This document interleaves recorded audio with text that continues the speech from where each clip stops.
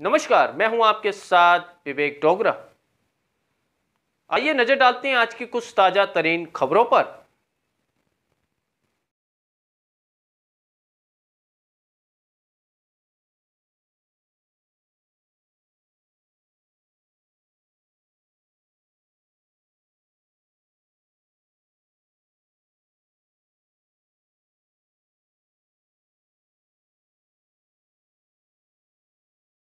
सिखों के नए गुरु, श्री हरगोबिंद साहिब जी के बलिदान दिवस के अवसर पर आज श्री अकाल तख्त साहिब से पंच प्यारों के नेतृत्व में विशाल नगर कीर्तन का शुभारंभ किया गया, जिसमें बड़ी संख्या में लोग शामिल हुए।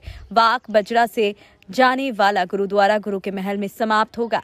इस बारे में बात करते हुए सिंह साहब ज्ञानी मलकीत सिंह ने कहा कि आज का दिन बहुत पवित्र दिन है, जहाँ गुरु तेग बहादुर जी ने हिंदू धर्म की रक्षा के लिए अपना बलिदान दिया और साथ ही गुरु गोविंद सिंह जी का गुरता गदी दिवस भी है, जिसके कारण विशाल नगर कीर्तन भी श्री अकाल तख्त साहिब से शुरू होकर गुरुद्वारा गुरु के महल पहुंचेगा, जिसमें बड़ी संख्या में लोग शामिल हुए।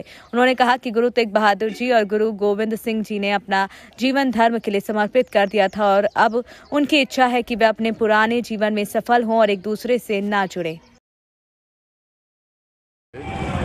ਅੱਜ ਸ੍ਰੀ ਗੁਰੂ ਤੇਗ ਬਹਾਦਰ ਜੀ ਮਹਾਰਾਜ ਸੱਚੇ ਪਾਤਸ਼ਾਹ ਜੀ ਦੇ ਸ਼ਹੀਦੀ ਪੁਰਬ ਨੂੰ ਸਮਰਪਿਤ ਸ਼੍ਰੋਮਣੀ ਗੁਰਦੁਆਰਾ ਪ੍ਰਬੰਧਕ ਕਮੇਟੀ ਅਤੇ ਸ੍ਰੀ ਹਰਮੰਦਰ ਸਾਹਿਬ ਸੱਚਖੰਡ ਦੇ ਸਮੁੱਚੇ ਪ੍ਰਬੰਧ ਵੱਲੋਂ ਨਗਰ ਕੀਰਤਨ ਦਾ ਪ੍ਰੋਗਰਾਮ ਰੱਖਿਆ ਗਿਆ ਹੈ ਨਗਰ ਕੀਰਤਨ ਕੇਵਲ ਇਸ ਵਾਸਤੇ ਕੱਢੇ ਜਾਂਦੇ ਨੇ ਪ੍ਰਭਾਤ ਫੇਰੀਆਂ ਜਾਂ ਨਗਰ ਕੀਰਤਨ ਗੁਰਪੁਰਬਾਂ ਤੇ ਵੀ ਸੰਗਤਾਂ ਨੂੰ ਇਹ ਪਤਾ ਲੱਗ ਸਕੇ ਵੀ ਸਤਿਗੁਰੂ ਮਹਾਰਾਜ ਨੇ ਕਿਸ ਸਿਧਾਂਤ ਵਾਸਤੇ ਸ਼ਹਾਦਤ ਦਿੱਤੀ।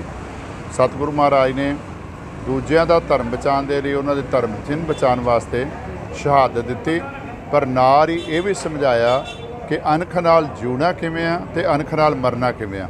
ਕਿਉਂਕਿ ਸਤਿਗੁਰਾਂ ਦੀ ਪਾਵਨ ਬਾਣੀ ਦੇ ਵਿੱਚ ਵੀ ਐਸੇ ਸਾਨੂੰ ਮਤੇ ਸਿਧਾਂਤ ਮਿਲਦੇ ਨੇ, ਭੈ ਕਾਹੂ ਕੋ ਦੇਤ ਨੇ ਨੈ ਪੈਮਾਨਤਾਨ ਸਤਿਗੁਰਾਂ ਨੂੰ ਡਰਾਉਣ ਵਾਸਤੇ ਪਹਿਲਾ ਤਿੰਨ ਸਿੱਖ ਭਾਈ ਦਿਆਲਾ ਜੀ, ਮਤੀ ਦਾਸ ਜੀ, ਸਤੀ ਦਾਸ ਜੀ, ਉਹਨਾਂ ਨੂੰ ਸ਼ਹੀਦ ਕੀਤਾ ਗਿਆ। ਉਸ ਤੋਂ ਬਾਅਦ ਸਤਿਗੁਰੂ ਮਹਾਰਾਜ ਦੀ ਸ਼ਹਾਦਤ ਹੋਈ, ਪਰ ਸਤਿਗੁਰੂ ਮਹਾਰਾਜ ਅਡੋਲ ਰਹੇ ਤੇ ਉਹਨਾਂ ਨੇ ਸ਼ਹਾਦਤ ਕੇਵਲ ਤੇ ਕੇਵਲ ਸਾਨੂੰ ਇਹ ਸਿਖਾਉਣ ਵਾਸਤੇ ਅਵਲ ਅੱਲਾ ਨੂਰ ਪਾਇਆ ਕੁਦਰਤ ਕੇ ਸਭ ਬੰਦੇ ਏਕ ਨੂਰ ਤੇ ਸਭ ਜਗ ਉਪਜਿਆ। ਕੌਣ ਭਲੇ ਕੋ ਮੰਦੇ ਵਾਲੀ ਗੱਲ ਸਮਝਾਈ? 57 ਸ਼ਲੋਕ 59 ਸ਼ਬਦ। ਸਤਿਗੁਰਾਂ ਦੇ ਗੁਰੂ ਗ੍ਰੰਥ ਸਾਹਿਬ ਜੀ ਦੀ ਪਾਵਨ ਬਾਣੀ ਦੇ ਵਿੱਚ ਦਰਜ ਨੇ। ਸਾਰੇ ਸਾਨੂੰ ਇਹ ਪ੍ਰੇਰਣਾ ਕਰਦੇ ਨੇ ਕਿ ਅਸੀਂ ਅਨਖ ਨਾਲ ਜੀਵੀਏ ਤੇ ਅਨਖ ਨਾਲ ਹੀ ਮਰਨਾ ਸਿੱਖੀਏ। ਵਾਹਿਗੁਰੂ ਜੀ ਕਾ ਖਾਲਸਾ ਵਾਹਿਗੁਰੂ ਜੀ ਕੀ ਫਤਿਹ।